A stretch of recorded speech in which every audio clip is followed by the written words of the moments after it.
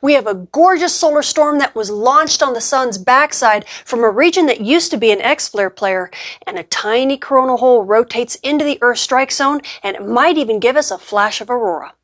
Those stories and more in the news this week.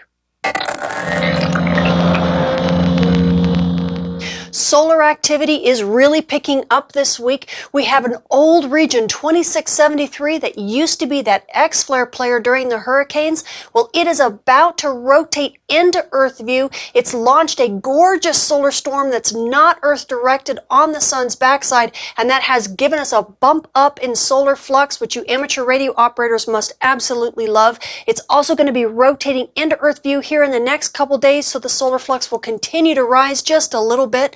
Meanwhile, we have this tiny little coronal hole that is going to be moving into the Earth strike zone here in the next couple days. It's not going to give us a really big pocket of fast wind, but it could give us enough to give us just a few hours of aurora.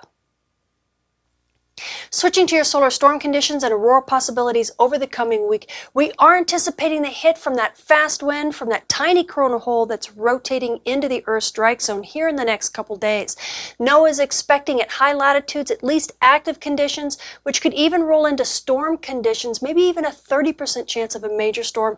We will know more as this region gets closer to the Earth strike zone. At mid latitudes, we're only expecting unsettled to maybe active conditions with maybe about a 25 percent chance of a minor storm at mid latitudes. And then that shouldn't last all that long. By about the beginning of the week, things should calm down reasonably quickly and we'll be pretty much back to normal.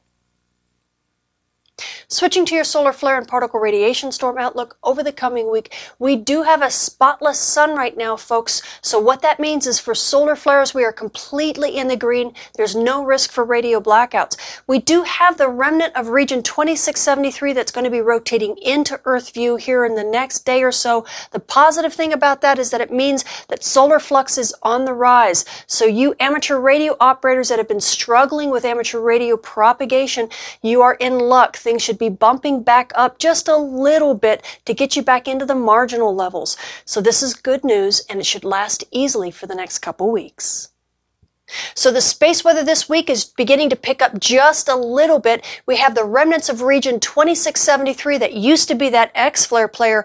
It has fired off a gorgeous solar storm and gives us a lot of eye candy. It's going to be rotating into Earth view here in the next couple days, and we can hope it continues to give us some eye candy. Meanwhile, it's bumped up the solar flux just a little bit, which I know you amateur radio operators and emergency responders to all the hurricanes, there's still so much work to do. You guys need as much help as, it, as you can get when it comes to radio propagation. So this is a nice little boost for you, which should last for probably the next two weeks.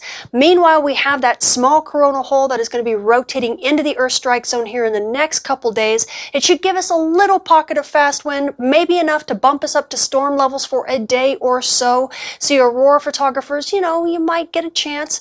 Uh, you keep those shutter fingers ready, but things should calm down pretty quickly into the beginning of next week and about about middle of next week, we should be pretty much back to normal. I'm Tamitha Skov. Thank you for watching.